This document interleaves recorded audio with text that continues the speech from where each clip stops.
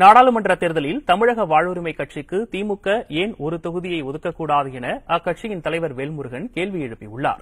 சேலம் ஏற்காட்டில் செய்தியாளர்களிடம் பேசிய அவர் இவ்வாறு பேசியுள்ளார்.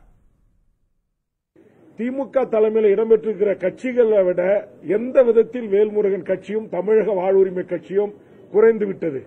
அவர்கள் பலத்திற்கும் என் பலத்துக்கும் என்ன குறையை திமுக தலைமை கண்டுபிடித்திருக்கிறது? அதெல்லாம் நான் திமுக தலைமைக்கு இந்த செயற்குழுவினூடாக ஒரு வேண்டுகோளை வச்சிருக்கிறோம். உங்க கூட்ட கூட்டணி கட்சிக்கு இருக்கிற அதே பலத்தோட தான் நாங்களும் இருக்கிறோம்.